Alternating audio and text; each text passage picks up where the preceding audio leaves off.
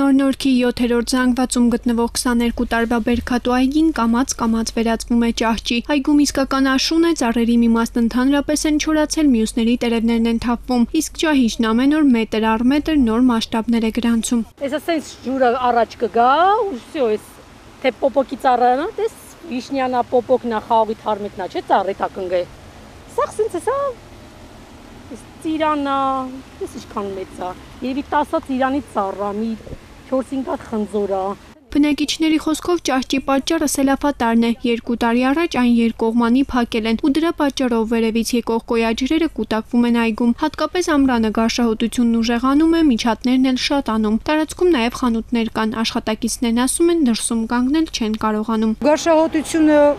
մոծակները, գորտերը երեկոյան ահավոր հոտ է գալիս աշխատողները այստեղ չեն կարող մի քանի րոպե նստեն։ Ճանջերը, մոծակները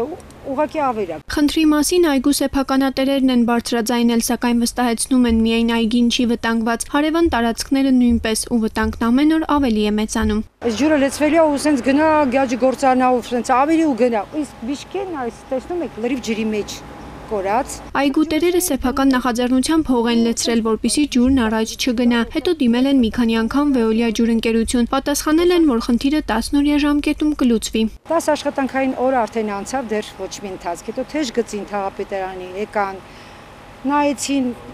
տենանք կոյուղաջուրա ինչ որ հարցեր տվեցին, մենք ինչ գիտենք ինչ ջրեր է։ Վարչական շրջանի աշխատակիցները նույնպես տարածքում եղել են, զարմացել տեսարանից հետո բնակիչներին ասել, որ պետք է իրենք լուծեն խնդիրը, սակայն քաղաքացիների համար անհասկանալի է ու նաև անհնար։ Հա, նայում են, ասում են, հա, հա, էսի վատ է, շատ վատ է։ Այնուն է, թեժ գծից որ եկա, ինչ Հա, ասեցի։ էս ինչքան վախտ է, էսի ստեղա բան։ Մենք փորձեցինք բարձաբանում ստանալ նոր-նոր վարչական շրջանից, սակայն կոմունալ բաժնի պետն այդպես էլ չպատասխանեց մեր զանգերին, չնայած որ աշխատանքային օրը դեռ չէր ավարտվել։ Այսօրը հետևողական է լինելու խնդրի լուծմանը։ Դունե Գրիգորյան, Նարեկ Եղիազարյան, Գառնիկ Նահապետյան։ Այսօր